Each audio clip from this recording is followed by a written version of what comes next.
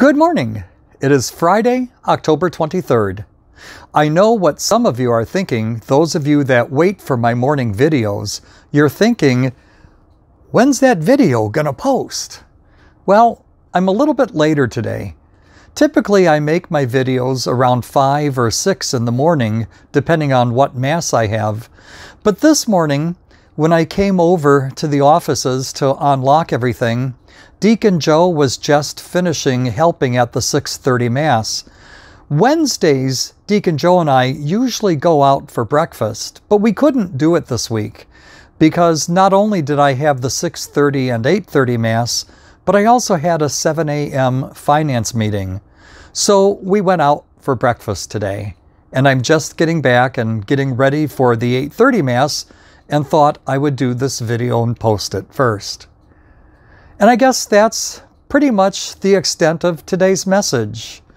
And that would be take time. Take time for yourselves. Take time for your friends.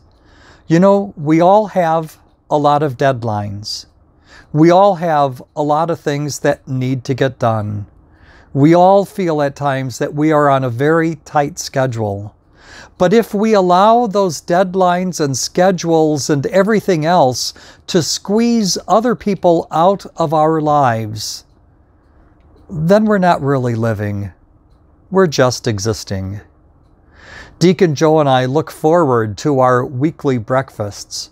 We get a chance to get away, to visit with the host and visit with the waitresses, and just kind of shoot the breeze with one another.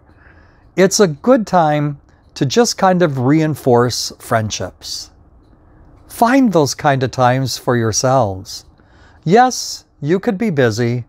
Yes, you can have deadlines, but don't let all of those things take your life away from you. God bless you this day and every day of your lives.